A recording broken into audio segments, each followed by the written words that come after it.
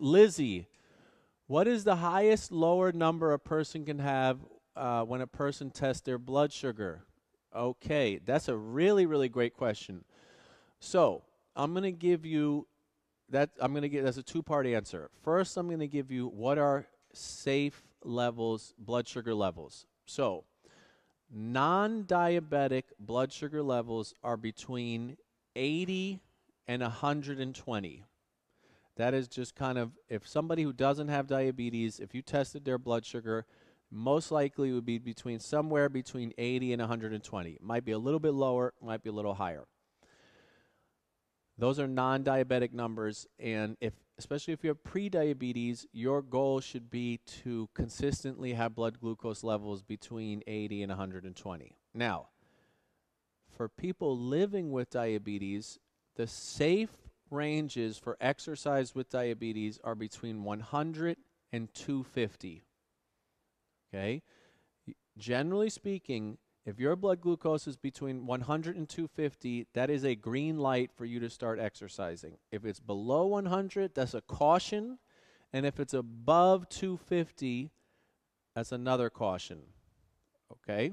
Now, and if you're above 300, that's like a red light. And if you're below 60, that's a red light. Okay. Now, what is the highest and lowest number? Well, anything below 60 is considered a hypoglycemic event. And once you start getting down into the 40s, you are actually at severe risk for a hypoglycemic episode that could end you up in the hospital. And once your blood sugar is in the 40s or below, the person is really, really at risk for potentially losing consciousness. And there's a terrible, terrible thing that can happen to especially people on insulin with type 1 diabetes it's a terrible phrase.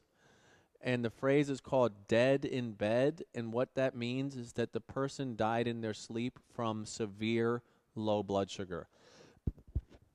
And unfortunately that happens to way way too many young people the highest blood sugar that is kind of I don't know if there's an actual limit on high blood sugar blood glucose meters will generally go up to 600.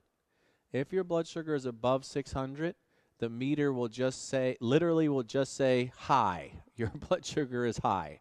So if your blood, if your glucose meter says your blood sugar is high, you need to call your doctor right away. Okay, um, but that's a great, great question.